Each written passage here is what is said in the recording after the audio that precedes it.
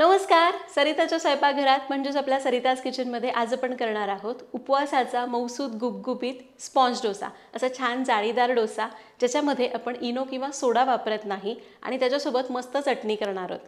आता आपण असा कुरकुरी डोसा करतो वरईचा डोसा करतो पण बऱ्याचदा तो चिवट होतो म्हणून आपण त्याच्यात सोडा वापरतो. पण उपवासाच्या पदार्थांमध्ये सोडा कशाला? कारण उपवास त्यामध्ये मग तो सोडा मग पोट जड होतं त्यापेक्षा जितका शक्य होईल तेवढा सोडा अवॉइड करायचा. म्हणून इथं मी सोडा न वापरता हा डोसा करून दाखवणार आहे. छान पीठ हमवून डोसा कसा करायचा ते तुम्हाला समजणार आहे. त्यामुळं व्हिडिओला लाईक करा. सोबतच चटणी पण बघायची आहे. सुरुवात करूयात.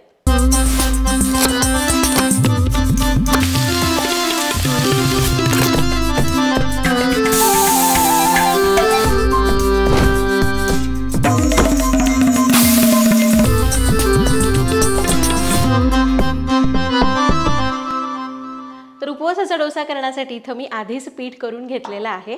आणि तुम्ही हे बघू शकता एकदम असं पांढरं शुभ्र पीठ तयार झालं आहे आपलं नेहमीचं डाळ तांदळाची इडलीचं पीठ असतं ना तसं शुभ्र दिसतंय. पण त्याच्या इतकं हे फर्मेंट झाल्यावर भुसभुशीत दिसत नाही पण डोसे खूप चवीला छान लागतात.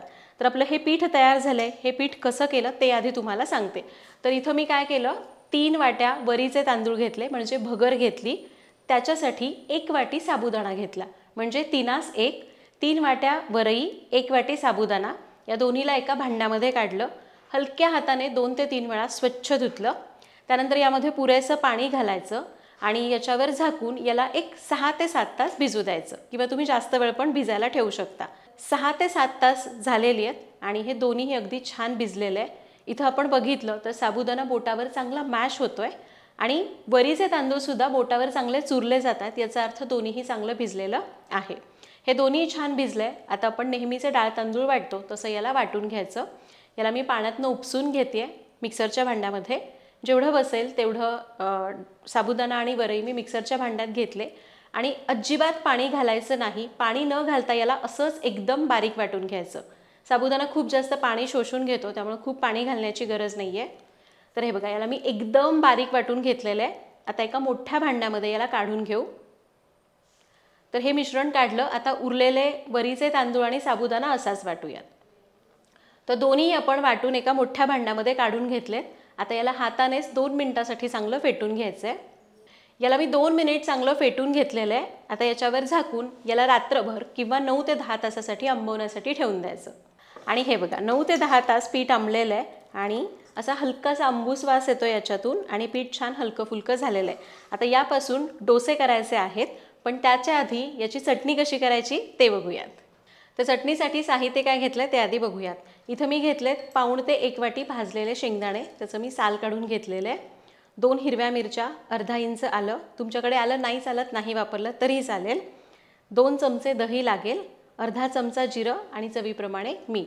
आणि फोडणीसाठी चमचाभर तूप घेतलं आहे किंवा तुम्ही शेंगदाण्याचं तेल घेऊ शकता आणि अर्धा चमचा जिरं लागणार आहे.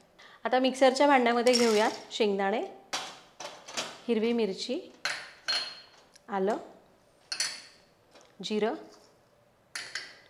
दही घ्यायचं आहे आणि चवीपुरतं मीठ. थोडंसं पाणी घालूयात आणि याला बारीक वाटून घेऊ. तर हे बघा आपली ही चटणी मी वाटून घेतलेली आहे. आता याची फक्त छोटीशी फोडणी करू. इथं कडल्यामध्ये मी तूप तापवलं आहे त्यामध्ये घालायचं आहे जिरं. जिरं मस्त फुललं आहे या चटणीवर. फोडणी घालू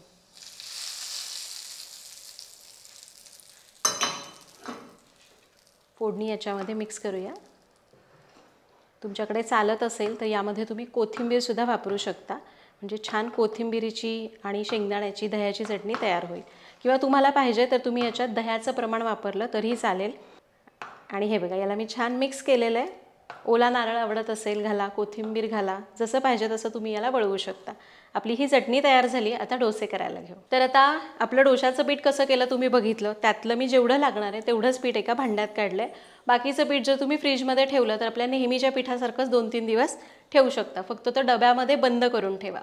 तर हे पीठ मी घेतलं आहे आता डोसा अजून छान होण्यासाठी यामध्ये मी थोडासा ओला नारळाचा चव घालते आहे तुम्हाला नसेल घालायचा नाही घातला तरीही चालेल. आणि अजून एक मला सांगायचं आहे जेव्हा आपण पीठ वाटत असतो की नाही आपल्या आपलं साबुदाणा आणि वरीचे तांदूळ तेव्हा त्यामध्ये थोड्याशा राजगिऱ्याच्या लाह्यासुद्धा घाला. त्यामुळं डोसा अजून छान असा गुबगुबीत व्हायला मदत होते. मी यावेळी घातला नाही माझ्या आधीचा व्हिडिओ तुम्ही बघाल ना चार पाच वर्षांपूर्वीचा त्यामध्ये घातलाय.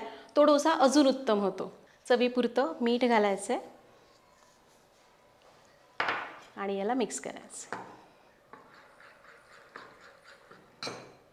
मी खरं सांगते राजगिऱ्याच्या लाया खरं तर माझ्याकडे नव्हत्या म्हणून मी घातल्या नाहीत पण असतील तर जरूर वापरा. खूप सुंदर डोसे होतात त्याने. शिवाय पौष्टिक पण आहेत राजगिऱ्याच्या लाया तर हे बघा इतपत सैल मी पीठ ठेवलेलं आहे.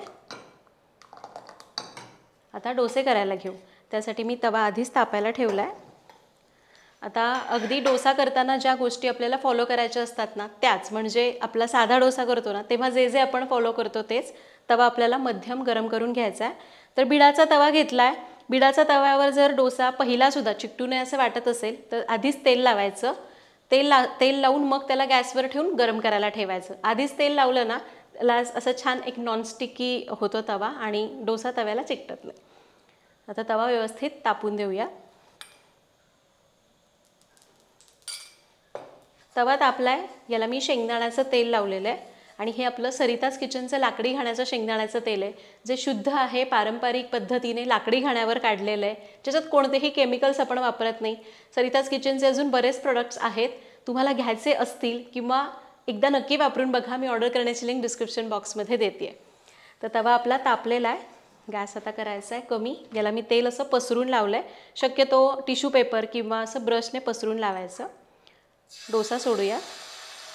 इथं आपण गुबगुबीत स्पॉन्ज डोसा करतो आहे त्यामुळे मी फार पसरवत नाही आहे याला.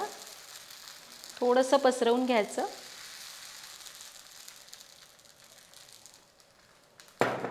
आता गॅस कमीच ठेवायचा आहे आणि याच्या कडा आणि वरचा भाग थोडासा सुकेपर्यंत याला असंच ठेवूया. तर एक मिनिट भराने बघा याच्या कडा सुकल्यात वरून डोसा थोडा सुकला आहे जाळीसुद्धा छान आली आहे ना. याला तेल सोडलं आहे आता तेल सोडल्यानंतर याच्या कडा थोड्याशा अशा तांबूस होण्याची वाट बघायची आहे.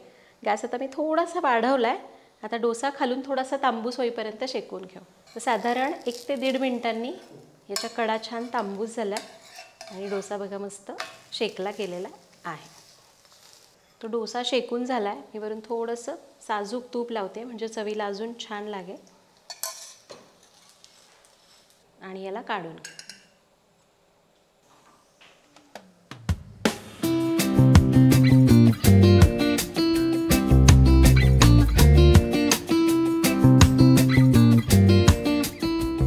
अशा प्रकारे आज आपण इथं सोडा वगैरे असं काही न वापरता पीठ आंबून उपवासाचा डोसा कसा करायचा ते बघितलेलं आहे.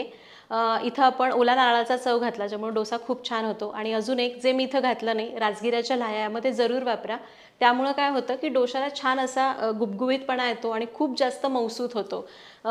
तर इथं आपण याचा स्पॉन्ज डोसा करू शकतो तो अजून छान होतो. कुरकुरीत डोसा म्हणावा तितका कुरकुरीत होत नाही पण तुम्हाला अगदीच पाहिजे असेल तर तुम्ही करू शकता.